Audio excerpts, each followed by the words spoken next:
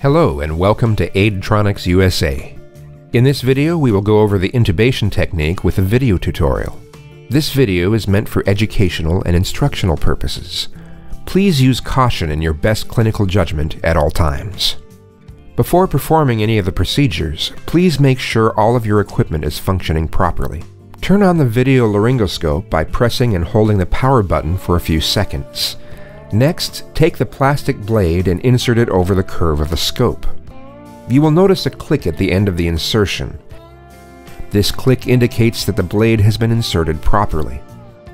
Position the patient in a neutral neck position. Hold the scope in your non-dominant hand and use your other hand to scissor the mouth open from the side. Carefully insert the blade into the patient's mouth.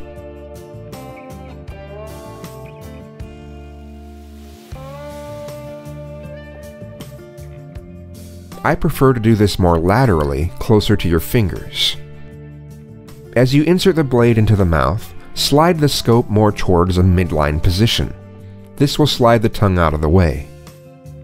Once inserted into the mouth properly, look at the screen to identify anatomy. Here you can see the larynx on my screen. The goal is to have the tip of the blade resting in the vallecula, once you have a good view of the patient's anatomy on your video screen, you can do two things. Number one is to take a picture, and number two is to make a video with a simple click of a button. If you click the button once on the handle, you will notice a small camera icon showing on the top of the screen. This indicates that the picture has been taken and saved into the memory. If you click and hold the button for a few seconds, you'll notice a red dot appear on the top of the screen and a counter on the bottom of the screen. This indicates that the video is being recorded. You can record the entire intubation process from the beginning.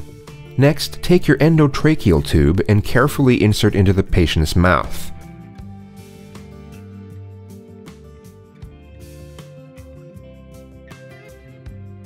The cuff on the tube can get torn on the teeth. Please insert with caution. Looking at the screen prematurely before positioning your tube into the mouth can result in a poor view. Take a look on your screen now and see the tip of the tube. Use the camera to guide the insertion of the tube through the vocal cords. Once successfully intubated, hold the tube with your dominant hand and remove the laryngoscope carefully.